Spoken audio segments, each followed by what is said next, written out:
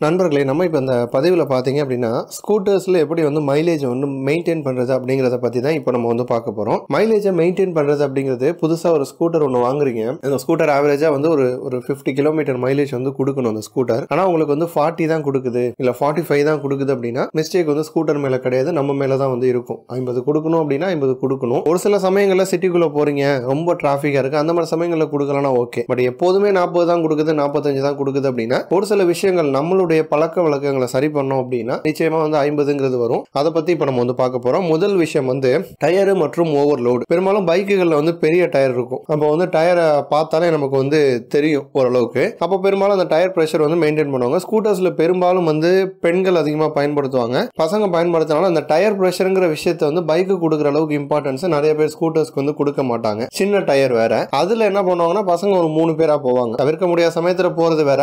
எப்போதும் மூணு பேரா போறதுங்கிற சின்ன டயர் அதில் ஓவர்லோடு ஒரு வேத்துறீங்க. டயர் ப்ரெஷரை மெயின்டைன் பண்ணல அப்படின்னா நிச்சயமாக மைலேஜ் வந்து ட்ராப் ஆக தான் செய்யும். ஸோ டயர் ப்ளஸ் வந்து பெரும்பாலும் வந்து ரெண்டு பேர்னா ரெண்டு பேர் மட்டும் போனீங்க அப்படின்னா இந்த ஃபிஃப்டிங்கிற மைலேஜ் வந்து மெயின்டைன் ஆகும். ரெண்டாவது விஷயம் பார்த்தீங்க அப்படின்னா கொடுக்கக்கூடிய தொழில்நுட்பத்தை நம்ம வந்து பயன்படுத்திக்கணும். இப்போ வர எல்லா ஸ்கூட்டர்ஸ்லையும் வந்து ஐ த்ரீ எஸ் இருக்கு. ஐடியல் ஸ்டாப் ஸ்டார்ட் சிஸ்டம் ஒரு டிராஃபிக்ல நிக்கிறீங்க நண்பர்கள் கூட பேசிட்டு இருக்கீங்க இல்ல ஸ்கூட்டரை ஸ்டார்ட் பண்ணீங்க திடீர்னு அம்மா வந்து ஏதோ சொல்லிட்டு இருக்காங்க. அந்த மாதிரி சமயங்கள்ல வந்து அந்த ஐ த்ரீ எஸ் தொழில்நுட்பத்தை பயன்படுத்தி ஸ்லீப் மோட்ல ஸ்கூட்டரை போட்டிருக்காங்க. அதை கொண்டு வந்ததே வந்து மைலேஜ் அதிகமாக கொடுக்கணுங்கிறதுக்காக தான் அப்போ அதை ஸ்லீப் மோட்ல போட்டு அந்த பழக்கத்தை வந்து கொண்டு வந்தோம். நிறைய பேர் ஸ்கூட்டர்ஸ்ல ஐ த்ரீ இருந்தாலும் பெரும்பாலும் அதை யாரும் பயன்படுத்த மாட்டாங்க அந்த பயன்படுத்தக்கூடிய பழக்கத்தை கொண்டு வந்துட்டீங்க அப்படின்னா நிச்சயமா அதுவும் வந்து உங்களுக்கு வந்து கை கொடுக்கும். ரெண்டாவது விஷயம். மூணாவது பாத்தீங்க அப்படின்னா நீங்க கொடுக்குற அசலரேஷன் பெரும்பாலும் ஸ்கூட்டர்களில் வந்து பெல்ட் டிரைவ் வரும். கண்டினியூஸ் டிரான்ஸ்மிஷன் தான் இருக்கும். பைக் மாதிரி நம்ம மாத்தணும்னு அவசியம் கிடையாது. ஜஸ்ட் திருகுனா போதும். ஸ்கூட்டர் அது பாட்டுக்கு போகும். அப்ப என்ன பண்ணுவாங்கன்னா ஸ்கூட்டரை ஸ்டார்ட் பண்ணும்போது நம்ம வந்து ஜீரோல இருந்து இருபது நாற்பது அறுபதுன்னு போகணும். எடுத்தோம்னா ஜீரோல இருந்து அறுபதுக்கு எவ்வளோ ஹாஷா வந்து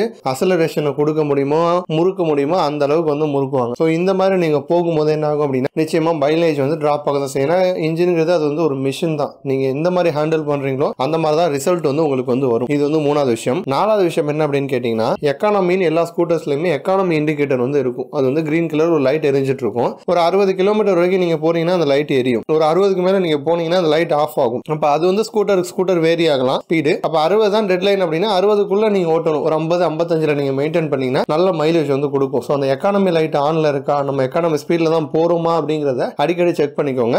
அடுத்த விஷயம் வந்து நீங்கள் வந்து ஹாஷாக வந்து அசலரேஷன் கொடுக்கும்போது அந்த லைட் ஆஃப் ஆகும். உதாரணத்துக்கு இருபதில் போகிறீங்க சடனாக அறுபதுக்கு திருகுறீங்க அப்படின்னாலும் அந்த லைட் ஆஃப் ஆகும். ஸோ அந்த மாதிரி நீங்கள் வந்து ஹேண்டில் பண்ணும்போதும் எக்கானமி ஸ்பீடு போயிடும் மைலேஜ் வந்து ட்ராப் ஆகும். ஸோ அந்த விஷயத்துலையும் வந்து கூடுதல் கவனத்தோட இருங்க. இந்த ஒரு நாலு விஷயத்தை வந்து நீங்கள் வந்து ஃபாலோ பண்ணீங்க அப்படின்னாலே நல்ல மைலேஜ் வந்து கொடுக்கும். நான் இதில் வந்து ஒரு சர்வீஸ் பற்றியோ மெயின்டெனன்ஸ் சர்வீஸ் பற்றியோ இல்லை வேறு ஏதோ பாங்கல் பற்றியோலாம் நான் வந்து பேசல. முழுக்க முழுக்க உங்களுடைய டிரைவிங் ஸ்டைல் பத்தி தான் வந்து பேசியிருக்கேன். ஸோ இந்த ஒரு நாலு டிரைவிங் ஸ்டைலை நீங்க வந்து ஃபாலோ பண்ணீங்க அப்படின்னாலே மைலேஜ் வந்து நல்லா மெயின்டைன் ஆகும். இது போன்ற இன்னும் பல ஆட்டோமொபைல் செய்திகளை வந்து நீங்க தெரிஞ்சுக்கணும் அப்படின்னா நம்ம சேனல் வந்து சப்ஸ்கிரைப் பண்ணுங்க. நன்றி.